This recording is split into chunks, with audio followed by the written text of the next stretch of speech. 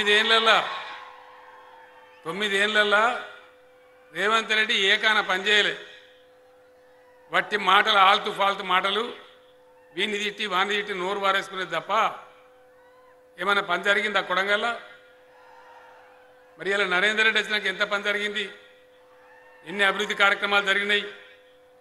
దీన్ని కేటీఆర్ దత్తత తీసుకొని బస్సు డిపో ఆడికెళ్ళొచ్చే డిగ్రీ కాలేజ్ ఆడికెళ్ళొచ్చే దవాఖానాలు ఆడికెళ్ళొచ్చే రోడ్లు ఎక్కడికి వెళ్ళొచ్చే? ఇవన్నీ మీరు ఆలోచన చేయాలి. పనిచేసే నరేందర్ రెడ్డి కావన్నా బట్టి ఫాల్తు మాటలు మాట్లాడే రేవంత్ రెడ్డి కావన్నా. మీరు నిర్ణయం చేయాలి. ఆయన మాట్లాడేది కూడా నోరు తెరిస్తే గబ్బు. ఏం మాట్లాడతాడు? ఆయన గుణమేంది? ఇప్పుడే నరేందర్ రెడ్డి చెప్పిండు కదా. కాంగ్రెస్ పార్టీలో చెప్తారు మనం చెప్పలేము టిక్కెట్లు అమ్ముకున్నాడు మా దగ్గర డబ్బులు తీసుకున్నాడని. గాంధీ భవన్ మీద రాళ్ళు పడి తంతా ఉన్నారు అది రేవంత్ రెడ్డి. అప్పుడు ఏం చేసిండు? తెలంగాణ కోసం మనం కొట్లాడినాడు ఆంధ్రలో సంకలు తెలంగాణ ఉద్యమకారుల మీదకి తుపాకీ పట్టుకొని బయలుదేరిండు. తుపాకీ రామన్ లెక్క. నేను ఎవడరా నాకు అడ్డమచ్చేది కాల్చి చంపేస్తాను. తెలంగాణ వచ్చింది. మంచిగా నడుపుకుంటున్నాం. ఏం చేసిండు రేవంత్ రెడ్డి? రాష్ట్రాన్ని అస్థిరపరచడానికి బీఆర్ఎస్ ఎమ్మెల్యేలను కొనడానికి నగదు యాభై లక్షలు ఇచ్చుకుంటే దొరికిన దొంగ రేవంత్ రెడ్డి. మీరందరూ చూసారు కదా టీవీలలో? పోలీసులు పట్టుకపోయి జైలు వేసారు చిప్పకూడు తిన్నా సిగ్గు రాలేదు. ఇంకా నువ్వు ఇట్లా దొరికినావు కదా అంటే నాకు అది మెడల్ అంటాడు ఆయన మెడల్ అంటాడు పథకం అట ఆయనకు. అట్లా దొరుకుడే నా మెడల్ నా పథకం ఉంటాడు అంటే ఏం మాట్లాడాలిగా? వాడు వంకర పుట్టిండట. ఎందుకు పుట్టినవరా వంకర అంటే చక్కగున్నని ఎక్కిరించడానికి అన్నాడు. ఇట్లున్నది రేవంత్ రెడ్డి వ్యవహారం. అంటే ఇంతకన్నా ఘోరం ఉంటుందా? యాభై లక్షలు తీసుకొని పోయి ఎమ్మెల్యేని కొనాలని నిటారుగా దొరికిపోతుంది మళ్ళీ నువ్వు సత్యారి చంద్రన్ లెక్క మాట్లాడితే ఎట్లా? దయచేసి మీరు ఆలోచన చేయాలి. ఇవన్నీ కూడా ఇంకా ఎవరిని ఎవరిని మాట్లాడి ఎట్లా మాట్లాడతాడు ఆయన? ఉస్మానియా విద్యార్థులు అడ్డా కూలీలట. వాళ్ళు తాగుబోతులట. జర్నలిస్టులు మాట్లాడితే మిమ్మల్ని పండబెట్టి తొక్కుతా అంటాడు. నాయకులు పండబెట్టి తొక్కచ్చు నా ఎవరిన నరేంద్ర రెడ్డి ఎప్పుడైనా అన్నాడు అసలు మాట? మరి ఇంత మంచిగుండి మంచిగా చేసేటోళ్ళు కావన్నా మరి ఎటువంటి వాళ్ళు కావాలి? దయచేసి ఆలోచన చేయాలి. ఏకాన పనిచేయని రేవంత్ రెడ్డి అడ్డగోలుగా మాట్లాడి యాభై లక్షలతో పట్టుబడ్డ దొంగన? మరి కొడంగల్కు ఎవరుంటే ఎమ్మెల్యే కొడంగల్ గౌరవం పెరుగుతుంది. ఎవరు ఉండాలి నేనేమంటున్నా? కాంగ్రెస్ వాళ్ళది ఇప్పుడు కొత్త మాట. నేను మీకు గ్యారంటీ చెప్తున్నా ఈ మాట. ఇవాళకి ఇది డెబ్బై నాలుగు డెబ్బై ఐదు నియోజకవర్గాలు తిరిగిన నేను. కాంగ్రెస్ వాడు ఓ పదిహేను మంది మోపోయారు కాంగ్రెస్లో. నేను ముఖ్యమంత్రి అంటే నేను ముఖ్యమంత్రి. వీళ్ళు ముఖ్యమంత్రి అయ్యేది ఎన్నడు కాంగ్రెస్ గెలితే కదా. కాంగ్రెస్కి ఇరవై సీట్లు కూడా రావు. ఈ రేవంత్ రెడ్డి ముఖ్యమంత్రి అయ్యేది లేదు మన్న అయ్యేది లేదు అంతా పట్టితే గ్యాసు. ముఖ్యమంత్రి అయితే అంటే మీరు మోసపోయి ఓట్లేసారు అనుకో ఉన్న నరేంద్ర రెడ్డి పోతాడు ఆయనతో మళ్ళీ మొదటికి వస్తుంది కథ. అంతే కదా? రేవంత్ రెడ్డి ముఖ్యమంత్రి గాడు మన్నుగాడు అది గ్యాసు. కానీ ఈసారి నవేంద్ర రెడ్డి నరేంద్ర రెడ్డి యొక్క స్థాయి ఆయనను గెలిపిండ్రి ఆయన స్థాయి పెరుగుతుంది ఆయన ప్రమోషన్ వస్తుందని నేను మనవి చేస్తా ఉన్నా. తప్పకుండా. మీకు ఇంకెక్కువ సేవ చేసేటువంటి అవకాశం వస్తుంది. ఆ ఫాల్తు రేవంత్ రెడ్డి మాటలు వాళ్ళు ఇచ్చే మందు సీసాలు వాళ్ళు ఇచ్చే నోట్ల కట్టలకు మీరు ఏమాత్రం కూడా మోసపోవద్దని మనవి చేస్తూ ఉన్నా. రేవంత్ రెడ్డికి ఒక నీతి లేదు ఒక పద్ధతి లేదు ఒక నియమం లేదు. ముఖ్యమంత్రిని పట్టుకొని పిండం పెడతా అంటాడు.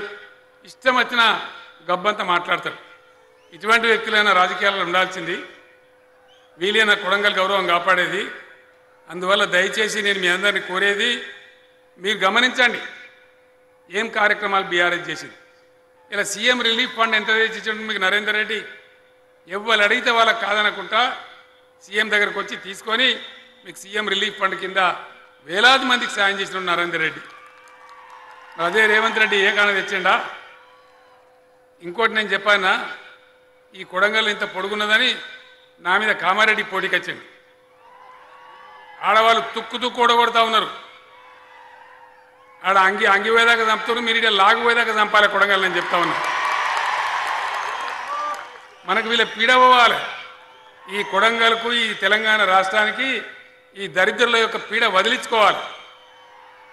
ఈ- వీళ్ళు రాజకీయాల్లో ఉన్నదగ్గ మనుషులు గారు ఒక నీతి నియమము పద్ధతి ప్రజల మీద ప్రేమ ఉన్నోడైతే రాజకీయాలు ఉండాలి కానీ కేవలం భూమి కబ్జాలు పెట్టుడు పైసలు పొద్దున్న లేతే పైసలు మాట్లాడుడు.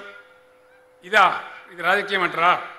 కాబట్టి దయచేసి కొడంగల్ ప్రజలు పోయినసారి మీరు నా మాట గౌరవించి బ్రహ్మాండంగా మీరు నరేందర్ని గెలిపించినారు. రైతు బంధు పంపిస్తా ఉన్నాం. రేవంత్ రెడ్డి ఏమంటాడు? అది బిచ్చం ఉంటాడు కేసీఆర్ బిచ్చం ఎత్తాడు రైతు బంధు. రైతు బంధు బిచ్చమా? ఇంతకుముందు గుడగొడ ఏడిసి బాధపడ్డ రైతులను ఆత్మహత్య చేసిన రైతులను ఆదుకోవాలని చెప్పి రైతు బంధు ప్రోగ్రాం పెట్టాం రైతు బంధు ఉండన్నా ఉండు కాదు. మీరు నరేందర్ రెడ్డిని గెలిపియండి. ఇలా పదివేలు ఉన్నది రేపు పదహారు వేలు అవుతుంది రైతు బంధు అని మనం చేస్తా ఉన్నాం. పదహారు వేల రూపాయలు అవుతుంది గ్యారంటీగా. ఆ విధంగా మరి మీరే ఆలోచన చేయాలి. ఈ మోసగాళ్ళు ఈ డబ్బు సంచులు పట్టుకొని వచ్చేటోళ్ళు ఎన్హెచ్పి మోటార్ పెట్టుకోవాలంటోళ్ళు కరెంటును మూడు గంటలు ఇస్తామనేటోళ్ళు మీరు ఈ కర్ణాటకలో మీరు చూస్తలేరా మీ పక్కకే కదా? కాంగ్రెస్ పార్టీ ఎంత మోసం చేసింది వాళ్ళను? ఇరవై గంటలు ఇస్తామో నరికిండ్రు. కథం. గెలిచిండ్రు ఇలా ఐదు గంటలు ఇస్తాను వాళ్ళు కొడంగల్కి చెప్తాను. మేము మోసపోయినా మీరు కూడా మోసపోకుండ్రి ఈ దొంగ కాంగ్రెస్ నమ్మకుండా అని కొడంగల్కి వచ్చి కర్ణాటక వాళ్ళు చెప్తా ఉన్నారు. మీరు అడిగి పోయినా కూడా మీకు కూడా చెప్తా ఉన్నారు. కాబట్టి చాలా దోకబాజ్ పార్టీ కాంగ్రెస్ పార్టీ. ఈ విధంగా ఏమి చేసింది లేదు. తొమ్మిది సంవత్సరాల ఎమ్మెల్యే ఉంటే మన్ను కూడా చేయలే కట్టడి మన్ను కూడా తీయలే.